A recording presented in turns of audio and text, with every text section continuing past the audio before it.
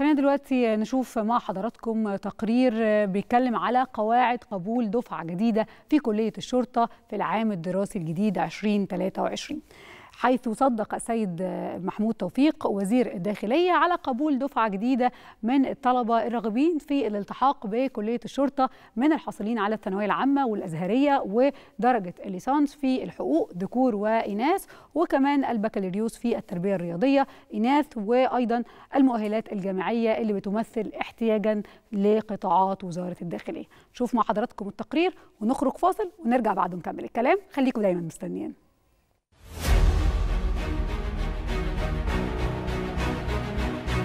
وافق السيد محمود توفيق وزير الداخلية على قبول دفعة جديدة من الطلبة الراغبين في الالتحاق بكلية الشرطة للعام الدراسي 2022-2023 من الطلبة الحاصلين على الثانوية العامة أو ما يعادلها والثانوية الأزهرية بحد أدنى 65% للعام الحالي أو العام الماضي والحاصلين على ليسانس الحقوق وبكالوريوس التربية الرياضية بحد أدنى تقدير مقبول والمؤهلات الجامعية التي تمثل احتياجا أساسيا لقطاعات وزارة الداخلية بتقدير جيد.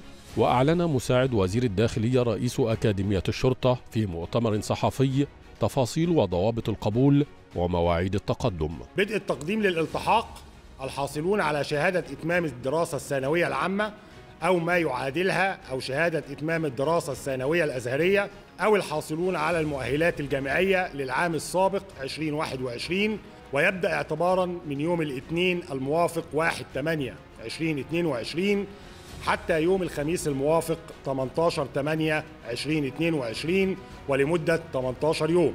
الحاصلون على شهادة إتمام الدراسة الثانوية العامة أو ما يعادلها أو شهادة إتمام الدراسة الثانوية الأزهرية وطلبة الدور الثاني لهذا العام 2022 يبدأ اعتبارا من يوم الخميس الموافق 4 8 2022 حتى يوم الأربعاء الموافق 31 8 2022 ولمدة 28 يوم.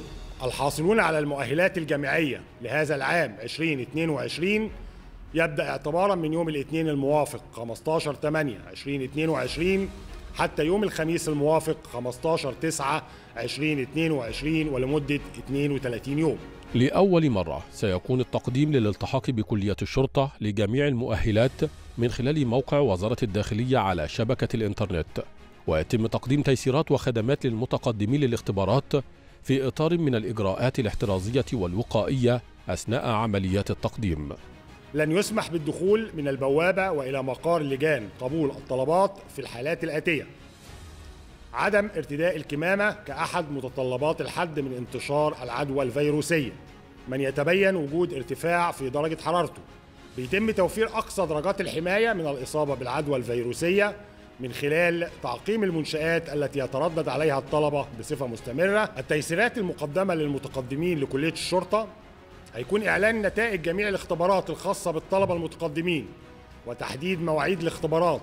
من خلال موقع الوزارة على شبكة الإنترنت وذلك تيسيرا على الطلبة وأولياء أمورهم في متابعة نتائج أبنائهم إعداد منفذ لاستخراج صحف الحالة الجنائية ومنفذ لبيع الطوابع والدمغة وكذا نسخ الأوراق ومنفذ للتصوير الفوتوغرافي الفوري ومنفذ للأحوال المدنية لاستخراج الوثائق اللازمة للطلبة المتقدمين للالتحاق ويتمتع الطلاب الملتحقين بقسم الضباط المتخصصين بعدة مزايا.